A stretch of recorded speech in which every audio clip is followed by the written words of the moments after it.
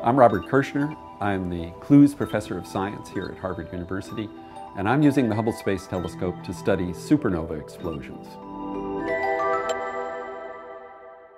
Supernovae are the deaths of stars. They're extremely luminous. You can see them halfway across the universe. They stir up the gas between the stars.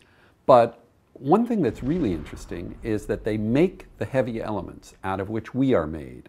So the iron that's in your blood, the calcium that's in your bones, the oxygen that you're breathing, those very nuclei were made in supernovae that exploded before the sun formed.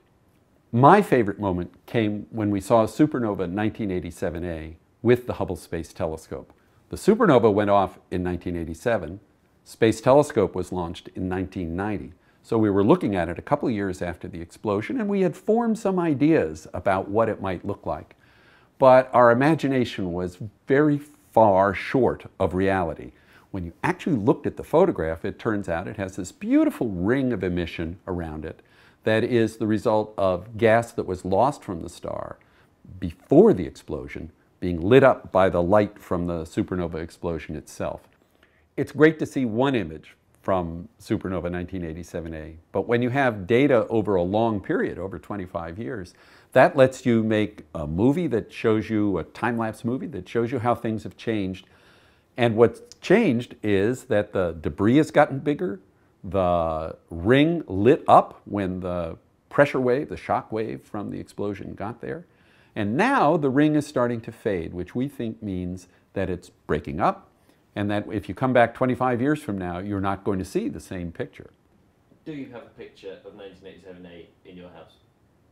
I have not only a picture of supernova 1987A, I have a ceramic tile. This is an image of supernova 1987A made in this tile by one of my colleagues, Dick McCray, and it shows the debris in the center, it shows the hot spots glowing uh, in the ring around the supernova, and it shows the outer rings and nearby stars too.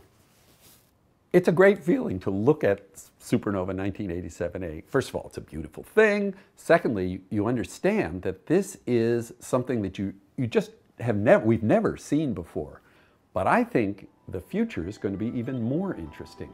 We're going to see the destruction of that ring, and more to the point, we're going to get a better and better look into the center. We think the supernova formed a neutron star. We haven't seen it yet. I hope that our Space Telescope images will show it to us sometime in the near future.